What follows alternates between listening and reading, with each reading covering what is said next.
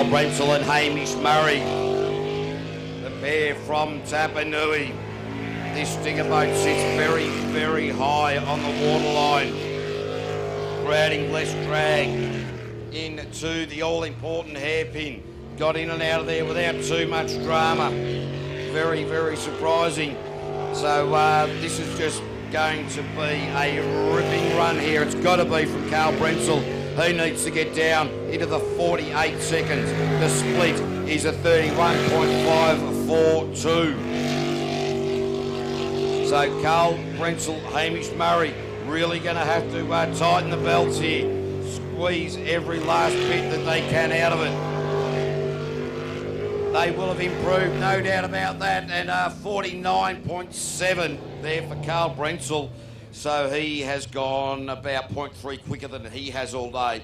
Will that be enough when you've got the likes of Simon Gibbon, Rick Burke, Neil Marshall in the 47s and the rest in the 48 second zone? But we do know that it is a race of attrition.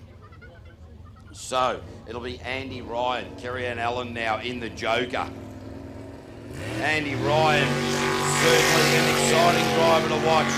This is the bloke who, uh, well, he's had some uh, pretty exciting off-track excursions. Oh, absolutely clipped the inside of that island on the way through. Very, very brave line. He's got the Joker face on. Into the hairpin. Well, he hasn't gone too bad around there. I've seen him do a hell of a lot worse. So it is now Andy Ryan with the Joker. He needs to also be down in the 48s, the low 48s, the high 47s if he wants to progress into the top five as well. So they're really going to have to push very, very hard. This boat they did a lot of work on throughout the course uh, between the last race meeting and this one. And uh, hopefully this is where they'll be ringing it out, ringing it out hardcore not going to be where they need to be. 49.463, 49.463. They've gone 0.3 seconds quicker. However, will that be enough? Considering you've got Harry Whelans, Ollie Silverton, and Ross Travers in the 48 second bracket, and Neil Marshall, Rick Burke, and Simon Gibbon in the 47 second bracket, there is only room for five in the top five. Now, I realise that I'm probably not the best mathematician, but five only goes into five once. Maybe. I think. All right, Harry Wheel and Jason Conroy.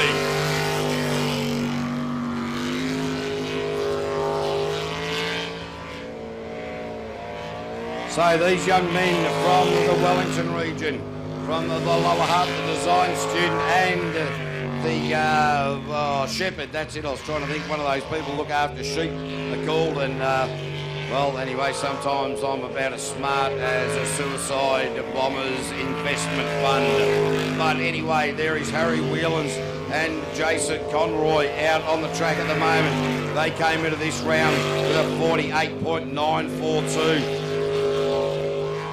and they have just been getting quicker and quicker. The split was a little bit off ideally where they would like to be, but now opening up the final apexes into the bottom and under the loop with a 49.186 and uh, they've blown that out by about 0.2 and find themselves still at the top of the table, but we still have the likes of Ollie, Ross, Neil, Rick and Simon to come. Ollie Silverton, the next boat off the trailer now. Jess Sit doing the navigational duties.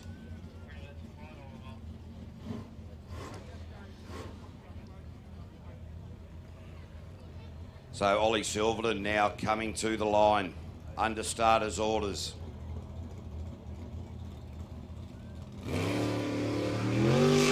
Right, Ollie Silverton launching off the line. The winner in the last round at Waitara wants to continue that winning form. Nice lines at the moment. If he can hold it together the last time out, he bogged it down in the hairpin. Where's he going to go here?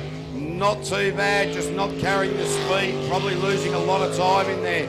Ross Travers, Rick Burke and Neil Marshall all doing that hairpin at a greater rate of knots. You need to be getting there. You need to get out of it. You need to do it fast. You need to do it smooth. And it is a very, very tricky bit of waterways to navigate. Ollie Silverton a little bit wide around the exit to that Mouthbresh Island on the far side.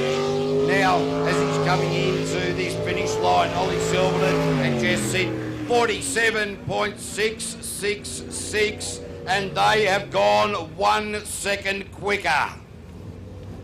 They go to the top of the table. So that is a great run from Ollie Silverton. The previous run that Ollie did, he got bogged down into that hairpin. That time in and out, he got in while not at pace, got in smoother and dropped the second. Ross and Shane Travers now. This is Radioactive, the boys from Wanganui, the father and son team.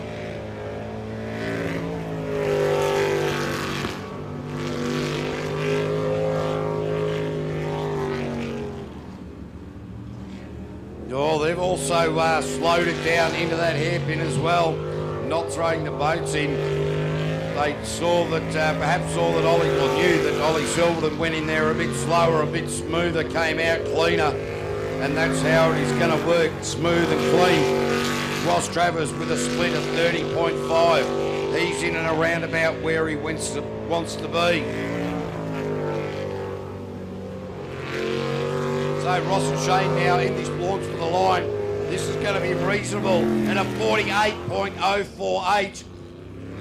They've gone point, uh, roughly 0.3 quicker than they have previously. They slot themselves into P2 behind Ollie Silverton. At the moment, moving forward from this top eight into the top five, Carl Brentzel currently on the bubble in position five. Neil Marshall and Michelle Reid now.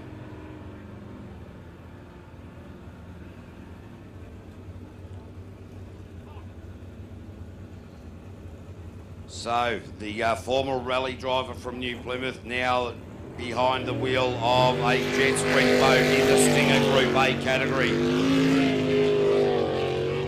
So, so Neil Marshall, Michelle Reid, Eagle Automotive. They had a nightmare at the start of the season. They sunk the boat in the preparation for Meremere. They uh, blew a rod. They did something, um, and then they came out and uh, managed to pull off a win, sitting themselves nicely in the overall championship thus far. Neil Marshall and Michelle Reid. The split is just 30.6, so they are down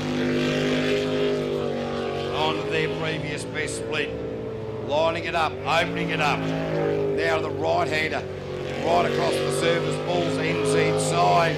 Neil Marshall, Michelle Reid, and a 48.087. They have gone oh, 0.1 and a bit slower and put themselves into P3. That is the end of Carl Brentzel for the day. Now, sitting on that top five bubble is the Joker, Andy Ryan and Kerry Ann Allen. As we see now, Rick Burke and Elf Kill in triple two, Firewater circulating in the launch pool the starter has called them up. Reigning world champions came in this with a 47.832. You're talking about a time of 47.832. You know that this is the uh, sort of light at the end of the tunnel that they'll be looking for. They suggested during the dinner break. Oh, excuse me, suggested during the dinner break that uh, maybe they had their head switched off on the last run. Might need to tidy things up a little bit. So the Firewater machine at the split. That's a very good split of 30.3. They'll be happy with that. They're not going to know what that split is at this point. Or sharpened it up there a little bit. Probably leaned on the wheel just that little bit heavy. Got the nice line through the wibble wobbles. Now into the, oh, lays the boat right over that aisle of 47.762 into position number two, and they have gone 0.1 quicker than their previous best time. So that is the end of Andy Ryan and Kerry Ann Allen. It is now Harry Whelans and Jason Conroy sitting on the bubble as we see Simon Gibbon and Tomo Paul Thompson, Novus Auto Glass from North Canterbury, backing off the trailer the time that they need to beat to progress. is a 49.18 that was produced by Harry Whelans, and they will progress. Mind you, their quickest time is a 47, so they've gone significantly quicker. They just need to hold their head together.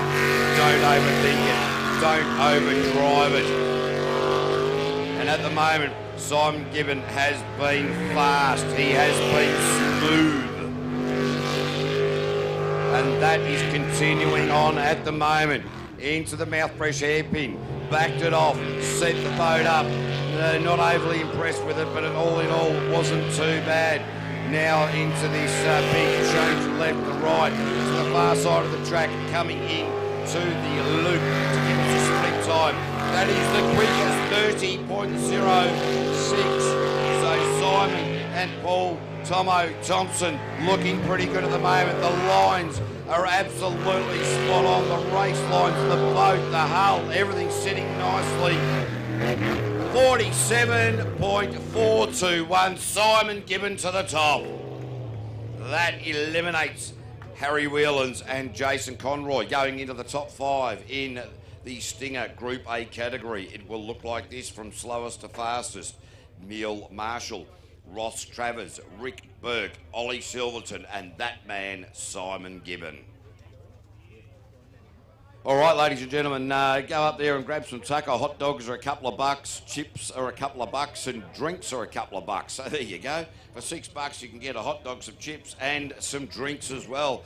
Get up there, grab some tucker. And as we wait for